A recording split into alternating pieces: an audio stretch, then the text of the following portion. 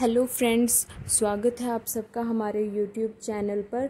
आज हम जानेंगे हाउ एवर का हिंदी में मतलब।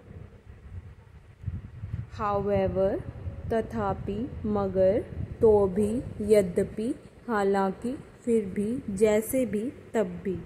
इंग्लिश में देखिए इसका मतलब despite anything to the contrary all the same at the same time example के थ्रू समझते हैं इसे however there were many challenges however मतलब हालाँकि कई चुनौतियाँ थी। चैलेंजेस यानी चुनौतियाँ।